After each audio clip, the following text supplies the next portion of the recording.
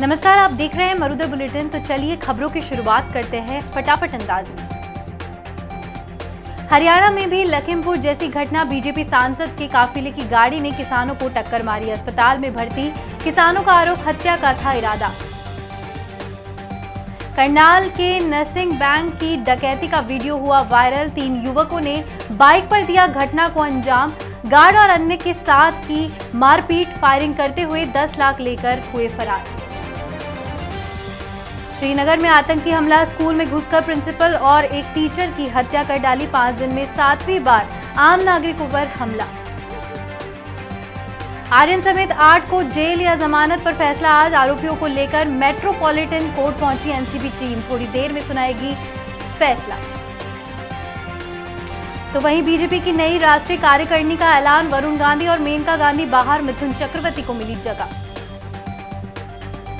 WHO ने malaria की पहली वैक्सीन को दी मंजूरी। अफ्रीकी देशों से होगी शुरुआत। भारत में हर साल तीन लाख से ज़्यादा केस आ रहे हैं।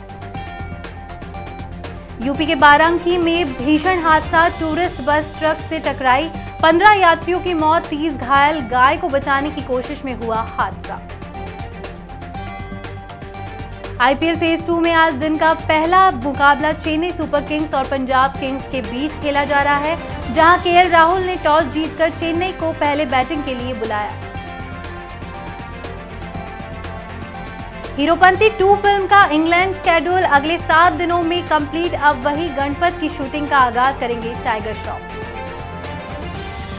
नवाजुद्दीन सिद्दीकी की सुपर नेचुरल फ़िल्म अद्भुत का टीजर आउट हुआ। नवाजुद्दीन ने भी सोशल मीडिया पर टीजर शेयर करते हुए फ़िल्म का ऐलान किया।